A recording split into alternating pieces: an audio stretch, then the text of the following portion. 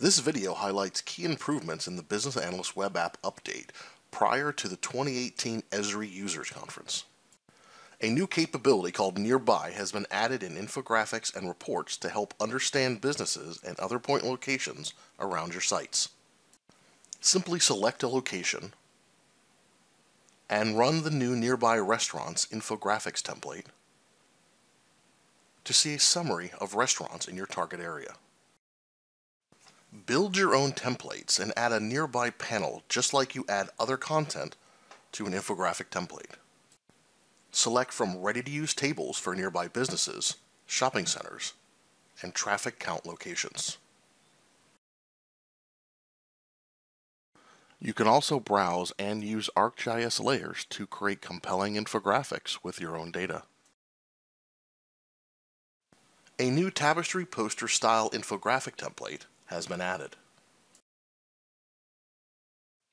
Understand Tapestry Life Mode groups, Tapestry segments, age profile, education, and more for any U.S. locations. Use attribute-based filtering to limit the locations shown in your layers. Dynamically filter by keywords and numeric values. Filtered locations can be used in other analysis workflows and in reports and infographics. Compare sites with geographies using the new Geography Comparison Report template. Create a dynamic table to compare key demographics for your site to key geographic areas. You can also benchmark your sites interactively and visualize how one site compares to others. You can now categorize your own data that is set up through the Add Custom Data workflow.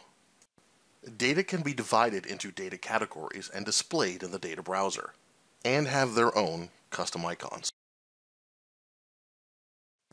We are excited about these new features in the Business Analyst web app. This release will also include updated demographic data for the United States and other countries, primarily in Europe.